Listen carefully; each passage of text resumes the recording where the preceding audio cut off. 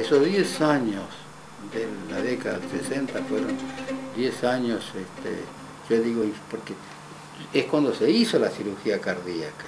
Empezamos a explorar los primeros oxigenadores, la circulación extracorpórea.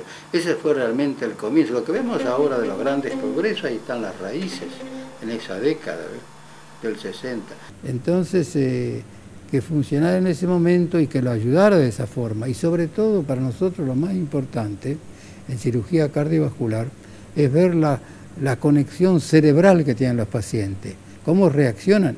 Y este señor se despertó enseguida. El hecho nomás que usted le diga, eh, le hable, este se llamaba un señor Carp, señor Carp, apriéteme la mano, y estrécheme, y que le aprieta, aunque esté medio dormido, es muy importante.